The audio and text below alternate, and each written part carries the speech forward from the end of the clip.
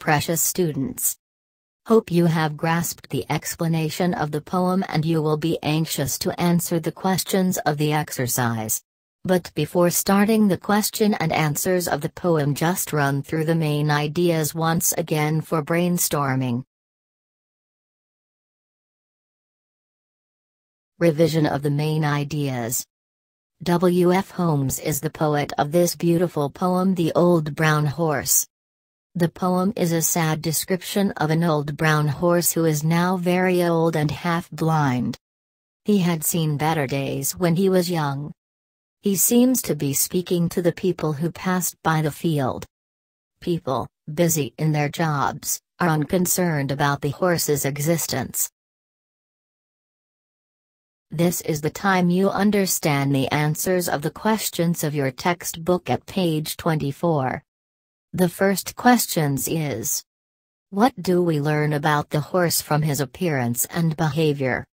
If you read carefully, you will find this question has two parts, first is about appearance and second is about behavior. Through his appearance, we learn that the horse is weary, old, shaggy, and not very well cared for.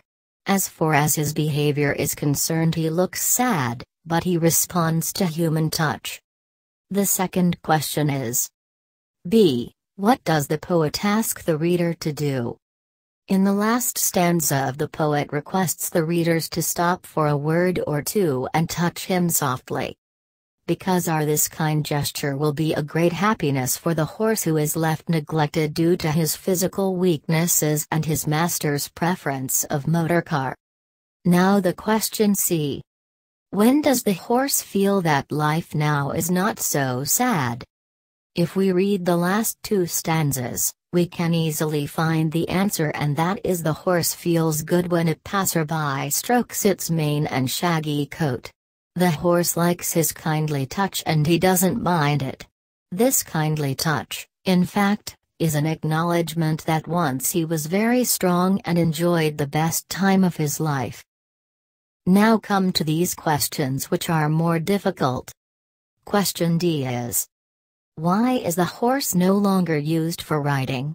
Give at least two reasons. If you, my dear students, read carefully the first two stanzas, you can easily understand why the horse is no longer used for the riding. The last line of first stanza. A horse who is lame and half blind tells us the horse is now unable to walk and his eyesight is also weak. He is not good enough to be used for riding now. And the fifth line of the second stanza. But his master rides in a motor car, gives us the second reason why the horse is no longer used for the riding. In fact, new methods of transportation such as the motor car have brought great change. Now, his master prefers motor car to the old way of transportation. Now the question E. E. Who might have been responsible for neglecting the horse?